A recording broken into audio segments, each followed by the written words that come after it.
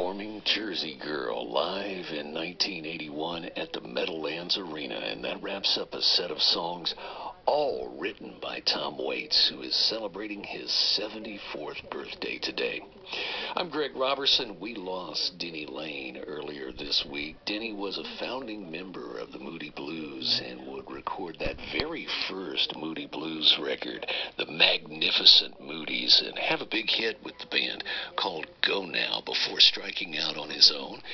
And in the early 70s, he would form a band with Paul McCartney, Wings, and he would be the only member outside of Paul and Linda who would stay with the band throughout their entire run. And on this day, 50 years ago, Denny, along with Paul and Linda, were celebrating the release of Band on the want to share a song from that, as well as two other records also released on this day in 1973.